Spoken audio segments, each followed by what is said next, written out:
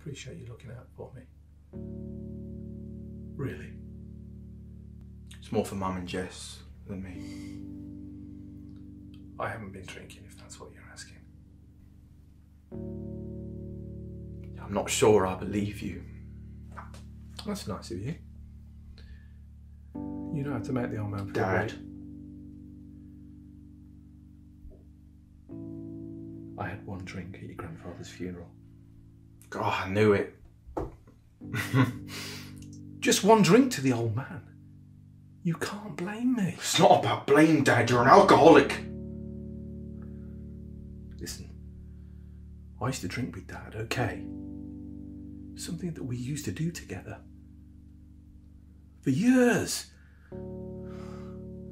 Until I stopped.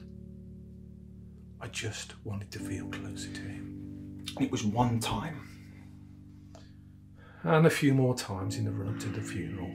But I have stopped now. Dad, what's wrong? Nothing.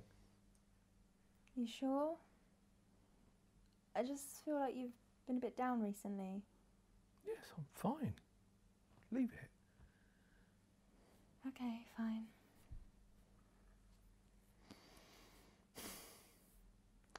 Why don't you like any of my Instagram photos? Is that what's bothering you? It's not a big thing. I was just wondering. Dad.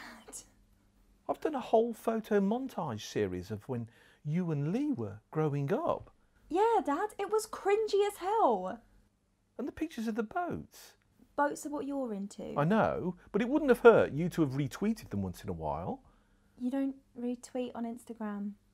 I can't keep up with all these apps. It's Facebook, Twitter, Instagram, Tinder. Please tell me you're not on Tinder. Yeah. I got it this week. I haven't seen you on there yet. Dad, do you know what Tinder is? Yes, it's like Instagram, but with chatting. Does Mum know Does Mum know what?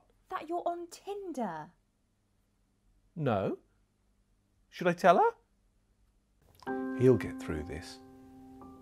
He's strong. That's what everyone said about me. I just plough on through the tough times and come out the other side.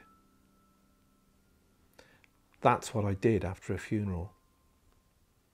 I carried on. I went into autopilot. I did the things that needed to be done and didn't really look back.